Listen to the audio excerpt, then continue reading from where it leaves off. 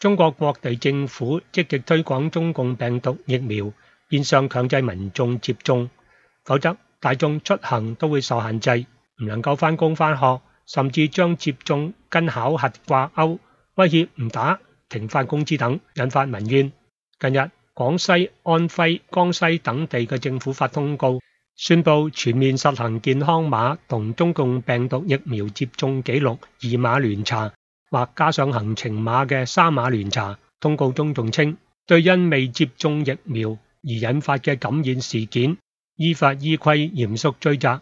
湖北省十堰市茅箭区疫情防控指挥部人员八月二十号向记者表明，通告嘅目的就系要达到全民接种疫苗。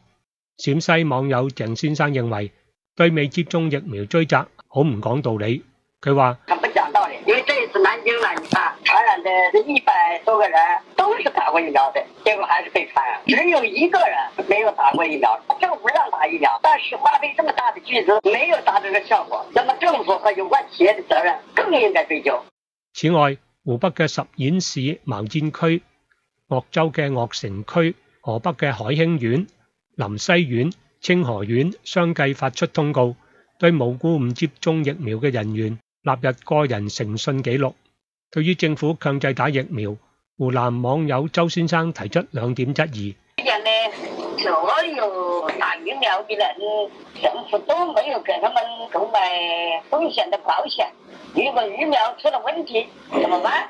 第二個呢，就是那個疫苗打了以後，不是說就百分之百能夠預防了，它究竟有多大的預防能力，没有任何能有說服力的講法。周先生話：中國大陸實行網格化管理，街道社區人員俾佢哋管轄下嘅每個人打電話，叫人去打疫苗，每個人都避唔過。